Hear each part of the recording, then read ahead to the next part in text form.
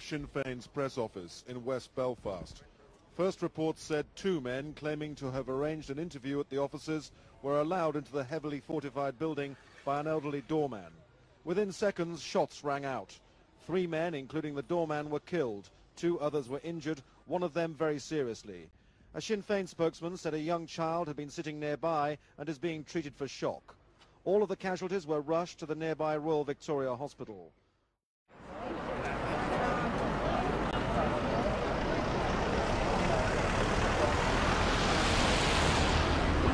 Hello, I want to welcome you all here this afternoon. I want to especially welcome the families of Paddy Loughran, Pat McBride and Michael O'Dwyer who were shot and killed in this office on February the 4th, 1992. February 1992 was a dangerous and traumatic time in Belfast. In the first week of that month alone, nine nationalists were killed in this city in separate gun attacks. That same week, a young IRA volunteer, Joseph McManus, died on active service in Fermanagh. The first today was black taxi driver Padraig O'Clery, who was shot dead in his North Belfast home by UDA gun gang.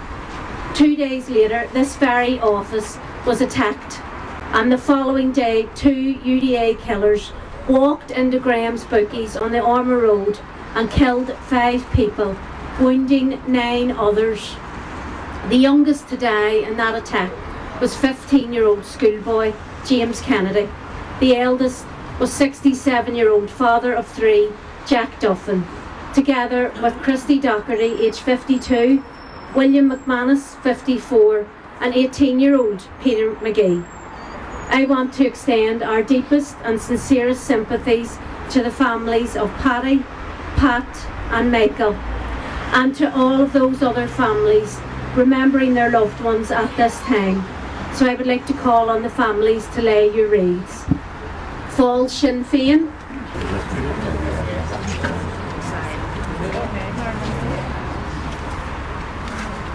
Falls Commemoration Committee. And Family reads. I would now like to ask for a minute's silence.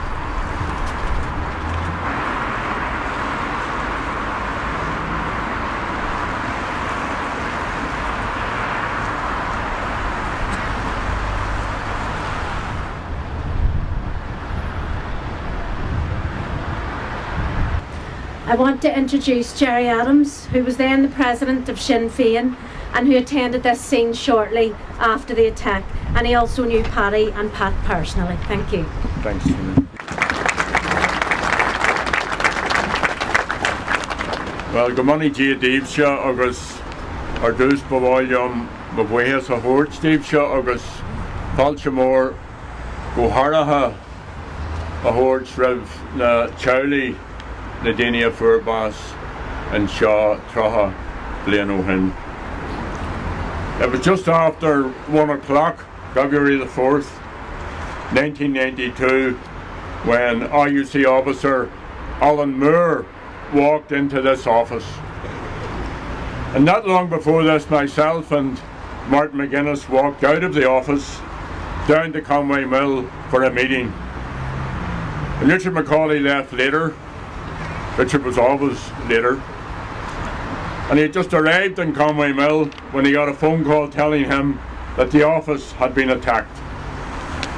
And Richard immediately rushed back and he arrived here as the ambulance crew was carrying Pat McBride, who was still alive, out of the building. When Richard went into the office, he found two of the dead and Pat Wilson seriously injured. Now it was a different building then. 55 Falls Road was a small terraced house. The reception area and our advice centre were downstairs and our POW office and the press office was upstairs. Paddy Loughran, a hugely popular and well-known local man from Clonard Street, was on the door. Alan Moore pretended to be a journalist.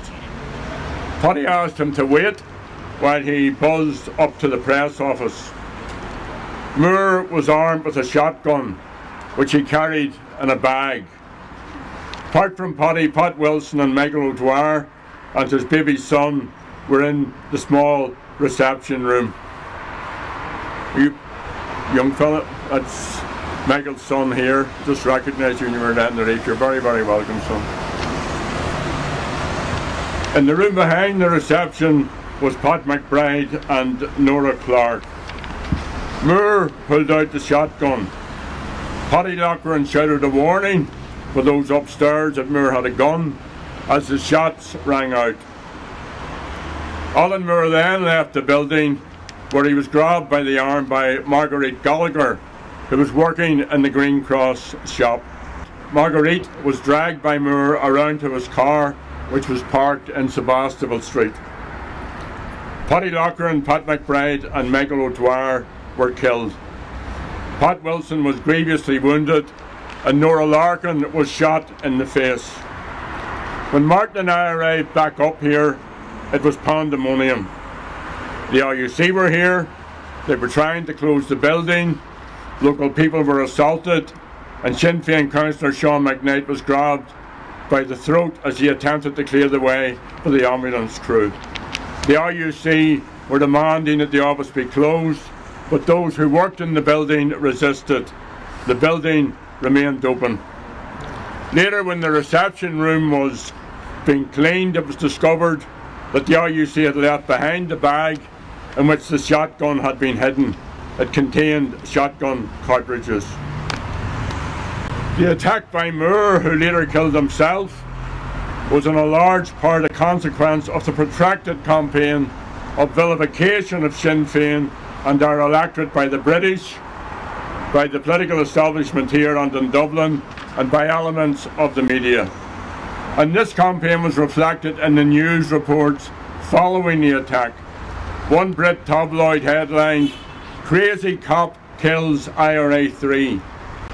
Another presented as The Revenge of the Terminator, while yet another said, Last Act of the Avenger, a last act of vengeance against the IRA. But of course it was no such thing. The reality was different. Like others of my age here, I knew Paddy Loughran well. For years he was a stalwart of Republican politics in the Falls, and for a decade he did the door in our office. He welcomed everyone in his very understated and soft voice, whether they were journalists, foreign visitors, or people looking help. And he referred to everyone, including women, as Yaboya. I also knew Pat McBride well.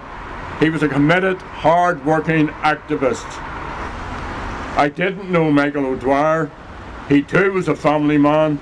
He called into our office carrying his two-year-old son, Michael Óg. And his killing was the second tragedy to touch the lives of the O'Dwyer family.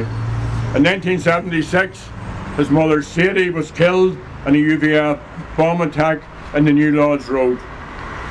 So it's important that we remember our friends. I'm glad Pat Wilson and Nora Larkin survived this attack. Nora is currently in hospital and we send best wishes and hope that she will return to her family soon. Pat Wilson, who was from the Clonard, made a complete recovery and I'm conscious also of the family of Alan Moore and of all the dead and wounded of our long war. And thankfully, the war is now over, although some are continuing it by other means. Now, we can make no sense of any of this except in the context of British government involvement in Ireland and the conquest, as well as the malign influence and the shameful methods the British have used and continue to use to maintain the Union. Yesterday's developments at Stormont are part of all of this. The end of British rule in Ireland cannot come soon enough. The Good Friday Agreement has an agreed process to do this, if that's what the people want. What happened here 30 years ago was a brutal but futile attempt to uphold a corrupt system and to destroy Sinn Féin. It failed completely to do that, but at a terrible price to the Loughran, McBride and O'Dwyer family. Sinn Féin is now the largest party on this island. We continue to lead the process of change and there's a growing and widespread support for a new agreed and shared Ireland. And when that happens, we all know that it will be due to the efforts of comrades like Paddy Loughran, Pat McBride, Pat Wilson, Nora Larkin and Marguerite and all the others who stood in the gap of danger. When British rule, when English rule in our country ends, it will also be because of the sacrifices of the O'Dwyer, McBride and Loughran families and all the other families who lost loved ones. So we thank them all and I will conclude by also thanking the comrades who organised today's event. Mila Buejas. I for one and I'm sure I speak to for all of you, I look forward to the end of London rule here and to the liberation of the Unionist and Loyalist people along with the rest of us. But be sure of this, without the patronage of corrupt English politicians, they will join then with everyone else to forge a new future based on equality. Speed the day, Goramina Margaret.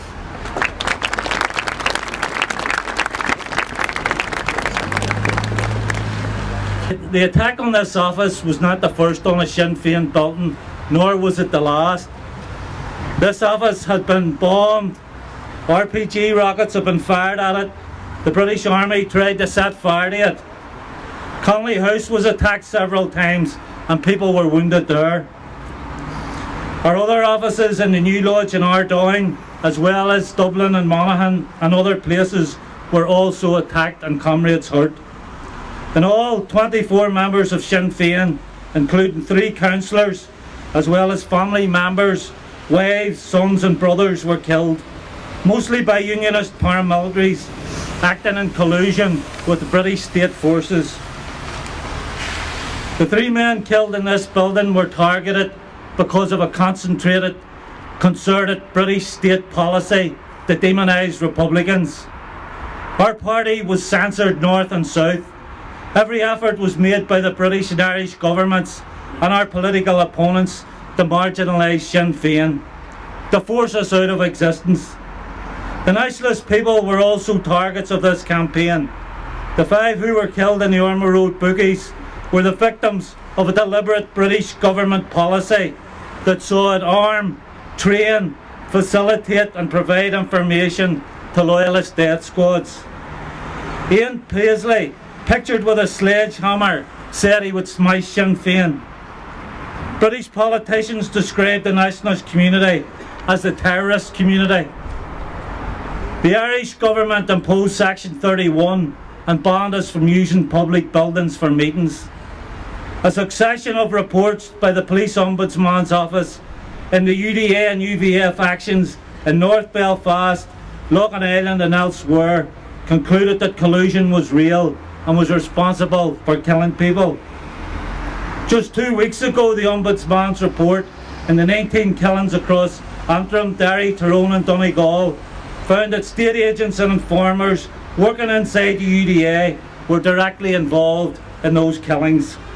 It also revealed that among the weapons used by the, the UDA were those brought into the north in 1987 from the apartheid regime in South Africa assisted by British intelligence and British agents working inside the Loyalist death squads. On Monday next, the families of the Ormeau Road victims will finally receive the Ombudsman report into that atrocity and the killing of six others in the South Belfast area. The report will be published on Tuesday. The PSNI made strenuous efforts to delay publication of this report a previous police ombudsman had to take them to court over the refusal to hand over information. The fact is that the British state does not want the truth of collusion made public. That's why they've refused to honour the commitment to publish the report into the murder of Pat Finucane. That's why the British have prevaricated and delayed introducing the Stormont House Agreement, which was agreed in 2014. That's why they are proposing an amnesty for their own forces. And this isn't just about covering up the actions of the British Army, the UDR and the RUC. It's also about the decisions taken at the highest political level in the British government, as well as the actions of their agents and informers working within armed groups. They don't want anyone to know who in the British government authorities authorised the torture of the hooded men, or the shoot to kill operations, or the waterboarding of prisoners, or the countless other acts of terror they inflicted on citizens. In January 2020, the British government gave a commitment to publish within 100 days legislation in the British Parliament to implement the Stormont House Agreement and address the legacy issues. It never happened, of course. On the contrary, in July last year, they published a so-called legacy command paper, which proposed a statute of limitations, effectively an amnesty, and to end prosecutions into all conflict-related offences. Under this proposal, the PSNI and Police Ombudsman, who has a remit to conduct historical investigations, would be legally prevented from investigating. The British proposal on an amnesty was unconditional. These proposals have been universally condemned by all political parties on the island of Ireland, by the Irish government, by victims groups, by human rights agencies and the churches, and by all the legacy advocacy groups. This issue is about more than securing the truth for families who want it. It's also about transparency and accountability. Boris Johnson and the Tories want to protect their killers from justice. And Sinn Féin is determined to do all that we can to ensure that the British government's amnesty proposal fails and that families and victims get the closure they deserve. Finally, I want to commend the families here today. I knew Pat McBride quite well and Paddy Loughran less so. I didn't know Michael O'Dwyer. But I know they were all good men, loving men with loving families. So today, as we remember Paddy, Pat, and Michael, and all those killed in those terrible days in February 1992, let us wrap our arms around those families and all of the others and commit to doing all we can to ensure that they get truth and justice. Reminder.